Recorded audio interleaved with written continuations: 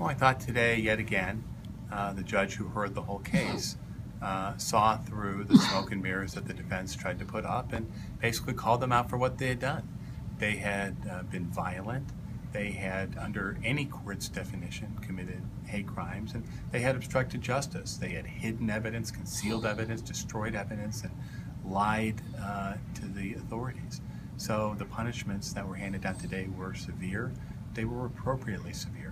You know, from the beginning, these were attacks not only on innocent, peaceful victims, they were attacks on our way of life and one of the core principles of our community and our country, which is freedom of religion.